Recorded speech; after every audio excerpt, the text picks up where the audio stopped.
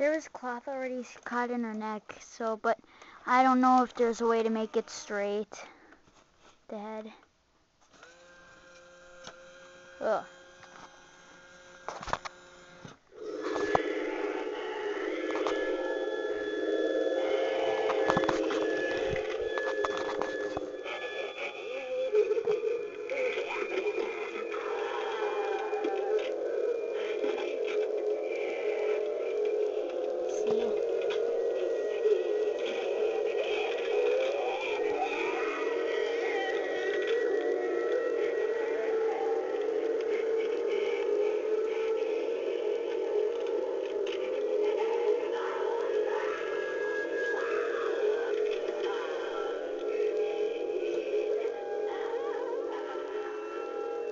I think it's just because her head goes further that way instead of not as the other one didn't turn her head as that far like this one does. That's why it looks crooked.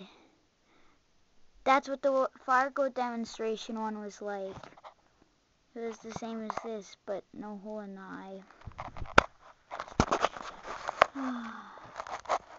Oh, I really want like my other one better. But I can't take it back. They'd be pretty mad if I took back it again.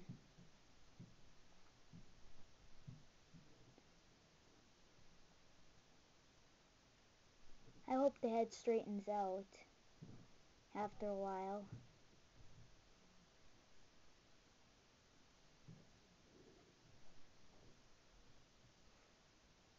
Because I don't like its head being so crooked like that.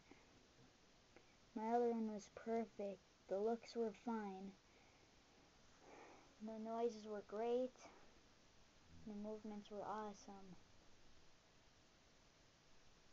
Until it got a loose rubber belt. I think that's why it's not it didn't work that good, but I don't really know.